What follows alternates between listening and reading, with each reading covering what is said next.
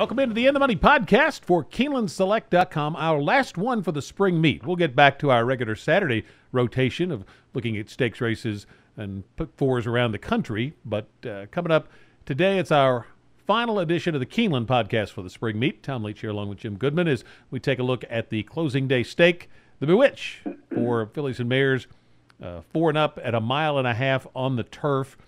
And given the fact that uh, I think that, that the uh, rain's probably done. It looks like until maybe later on Friday that hopefully this uh, turf course will firm up a little bit, but there still could be some give in the ground, so you can factor that into your handicapping. But let's jump into the Bewitched, Jim. And uh, can you beat Daddy's Little Darling? I guess is the question.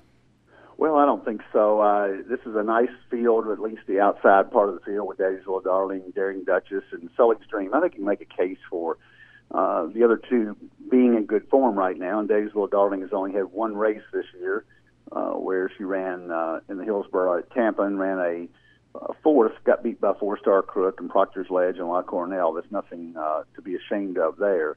And she likes Keeneland. She showed that on the turf course last year, almost winning the QE2. And uh, the mile and a half is a question mark. She's never been a mile and a half, but she's won over a million dollars. Outclasses this field by a long way. I can make a case uh, for Sully's Dream or Daring Duchess to to get in the money. I think Daring Duchess has to get an easy lead, and I don't think Coco Channel is going to let her do that. Um, if she does get an easy lead, she could take them a long way. But uh, Daddy's Little Darling is going to be my pick here. Um, Sully's Dream, you might look at Vagabond Princess, who's running in the eighth race today. Uh, she ran second to Sully's Dream. Sully's Dream beat her pretty easily uh, in New Orleans at the fairgrounds. And the Vagabond Princess runs big. Had her Sully's Dream last race a little bit, so that's a little angle you can look at. But Daddy's Little Darling is going to be my pick here and probably going to be my single to pick four. Yeah, I kind of feel the same way. Um, the only one that intrigues me is Sully's Dream, just on the improvement last time and a big big Beyer figure jump, and sometimes just an, an, an improving horse can ride that wave for a while. But I'm also always a little leery of big Beyer figures that big Beyer improvement on a horse that just gets an easy lead. So um, Sully's Dream is the the only one that probably wouldn't be a shock if uh, she were to beat Daddy's Little Darling, but. Uh, Daddy's Little Darling looks awfully good. She ran well here in the uh, fall on the turf course. Uh, Mike Smith is in the saddle, and those were really good grade one types that she just missed against in her 2018 debut. So Daddy's Little Darling is um, probably going to be a single for me as well. Uh, let's move to the late pick four, which starts in the seventh race. We've got a non winners of one allowance at a mile and an eighth on the turf. Then you've got uh, an allowance optional claiming for fillies and mares at a mile and a sixteenth, and it finishes up with three year olds, uh, three year old maidens on the turf going long, a mile and three sixteenths. So give me your pick four. Okay, pick four in the first leg. I'm going to go three deep. Uh, my win pick is going to be Sky Promise, the two for Kenny McPeek and uh, BJ Hernandez, who's ridden really well this race. He's got nine wins going into Thursday's card, and um, this horse ran in the JR Stakes and the uh, Jeff Ruby Stakes at, at Turfway, way out of it early, and finished in the middle of the pack. They, I don't know if they had any Derby aspirations with him or not, but um, back on the turf now, where it seems to be he belongs. I think they were just trying to get a graded stakes up there, thinking he would take to the poly track well. He ran well in the Battaglia. Those races didn't come back very strong, but if you look back at his turf form, um, he fits here. Uh, Sniper Kitten for Make, Michael Maker and Joel Rosario.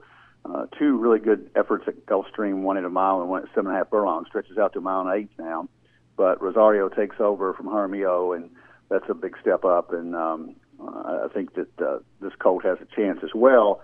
And then the other horse I would lead is uh, I would use his Soul Beam for Dallas Stewart, uh, coming off of Fairgrounds. Good effort at optional claiming uh, level, and again, Jose Ortiz uh, over Pedroza is a big move up in the jockey rankings. So I think those three horses I'm going to stick with: two, three, eight. Eighth race, I really couldn't make heads or tails, so I'm going to single the ninth, and I'm going to take all in the eighth. Uh, Vagabond Princess probably looks best in here, coming off the fairgrounds effort uh, to Sully's Dream. But I really couldn't eliminate very many horses here. So I think Dora Danza for uh, Kellyn Gorder and Geroux has a shot. I think uh, the outside horse mistress of the night for Richard Baltus, Baltas, Mississippi from Santa Anita has a shot, and I really couldn't eliminate much, so I'm going to just hit the all button here. So I'm going to go two, three, eight with all. I am going to single Daddy's Little Darling in the ninth race, so the five horse there. Close it out with five horses. Uh, Broth, the one for uh, Bachinko, just because he throws one in there every once in a while to Keeneland meet, and I'd hate to lose the big four because I left him out. CC Rider scratched out of a race on um, uh, Thursday, or is entered a race on Thursday. I'm assuming will go here. He's also eligible there, so that big 80 Beyer last time out on the first time on the turf jumps out at you. Nantucket uh, for Rodolphe Brisset and Geroux has a shot. Say the word with Ortiz in motion. The six and Triple Dog Dare for Brad Cox, who's going to be the leading trainer, and Corey Lanerie. So I'm going to take the five fairly obvious horses one, three, five, six, eight. So that would be two, three, eight with all, with five, with one, three, five, six, eight. And if my calculator is correct, that is sixty dollars. Uh, starting the seventh race for me, and we have uh, differing opinions here. I am going to Morning Stride, coming out of that race last month at the fairgrounds. The third place finisher won here at Keeneland. The runner up ran second on Sunday, so that was maybe a pretty good race.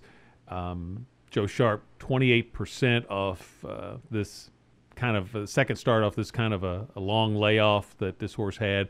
So I'm going to go Morning Stride for my win pick here. King of Candy comes out of the same race, so I like Morning Stride. I've got to like King of Candy. Uh, Sniper Kitten, I'm going to use. Take that for data. I'm going to use. A couple of nice maiden winners. Um, could be talked into adding the eight Soul Beam as well, but I'm just going to go with those first four one, three, four, and seven, um, and go with five in the next leg. Dora Danza was my win pick.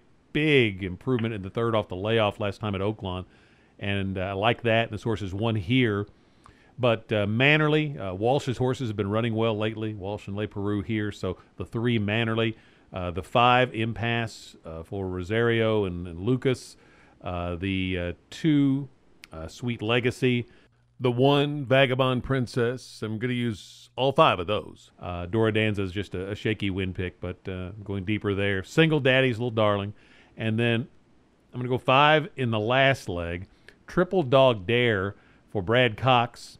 Um, who knows? Could come down to this race for the trainer's title. Uh, as we go into the Thursday card, as we tape this, uh, he had a uh, slight lead of two wins over Wesley Ward. He is uh, very good with first time turfers, very good on the dirt to turf move. So both of those apply here. This horse improved in the second start for Cox and has worked well here. So Triple Dog Dare is the one I like. Say the word, motion, uh, Graham Motion, you always got to look at, I think, going long on the turf. So that one uh, is interesting for me. The six, uh, Jailhouse Kitten, CC Rider, Nantucket. I'm going to use all three of those. So five horses there for me. So one, three, four, seven with one, two, three, four, five. With five, with three, five, six, seven, eight to try to get out and finish strong in the pick four on closing day. Uh, we'll have another podcast on Saturday uh, looking at uh, one of the weekend pick four opportunities. And then, of course, next week, podcasts on Friday and Saturday for Oaks and Derby Day. And uh, wish you best of luck with your Friday wagers. This is the In the Money podcast for KeenelandSelect.com.